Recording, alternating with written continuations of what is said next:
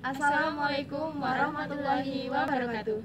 Perkenalkan, kami mahasiswa STKIP PGD Pacitan, Prodi PGSD semester 5 kelas B akan memaparkan tentang media tiga dimensi yang kami buat. Kami dari kelompok 7 yang beranggotakan saya sendiri, Sawitri Niken Oktaviani dan teman saya, Afridatul Fikriana dan teman saya, Rizka Puspitasari. Nah, eh, dalam pemaparan kali ini kita mengambil tema tentang kepemimpinan.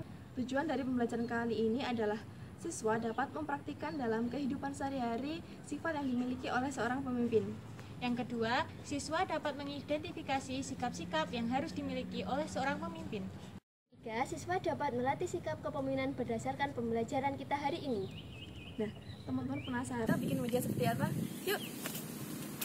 Pada kesempatan kali ini, kami akan membahas tiga pemimpin idola, yaitu dokter, kepala sekolah, dan kepala desa. Yang pertama adalah dokter. Dokter bekerja di rumah sakit. Tugas dokter yaitu mengobati orang sakit. Sebagai pemimpin yang baik, dokter harus bertanggung jawab dalam merawat pasiennya, disiplin dalam bekerja, dan jujur dalam memberikan obat kepada pasiennya. Sehingga kepemimpinannya dapat dicontoh oleh orang lain. Dan yang selanjutnya adalah kepala sekolah. Sekolah merupakan tempat di mana anak kecil maupun orang dewasa belajar untuk menimba ilmu. Sekolah merupakan lembaga di bidang pendidikan. Setiap sekolah dipimpin oleh satu kepala sekolah. Tugas dari seorang kepala sekolah adalah untuk mengayomi dan memberikan teladan untuk karyawan, guru, dan juga murid-murid yang ada di sekolah tersebut.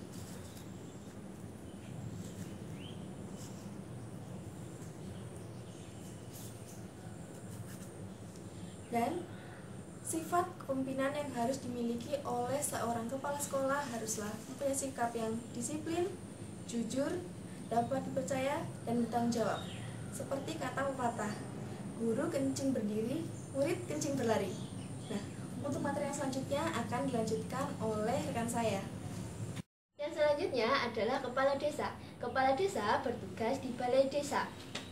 Tugas kepala desa adalah untuk memajukan desa tersebut agar damai dan makmur. Memajukan desa tersebut, Pak Kepala Desa bermusyawarah dengan beberapa pemangku ada di desa tersebut teman dari pembelajaran kita hari ini ada beberapa sikap yang harus kita contoh. Yang pertama adalah jujur, adil, bertanggung jawab, dan juga dapat dipercaya. Sudah mempelajari tentang pemimpin idola. Ada beberapa tokoh yang tadi sudah kita paparkan, seperti dokter, kepala desa, dan juga kepala sekolah. Nah, apa gunanya ini? Ini adalah adalah kincir pandai. Kegunaan kincir pandai adalah untuk memberikan pertanyaan kepada siswa. Pengajar dapat memberikan pertanyaan-pertanyaan tersebut di dalam sela-sela sendok ini. Nah, siswa dapat memutar sendok ini untuk memilih pertanyaan yang akan dia jawab. Nah, tadi pemaparan dari kelompok 7 tentang media pembelajaran tiga dimensi. Semoga pembelajaran hari ini bisa bermanfaat. Akhirnya, wassalamualaikum warahmatullahi wabarakatuh.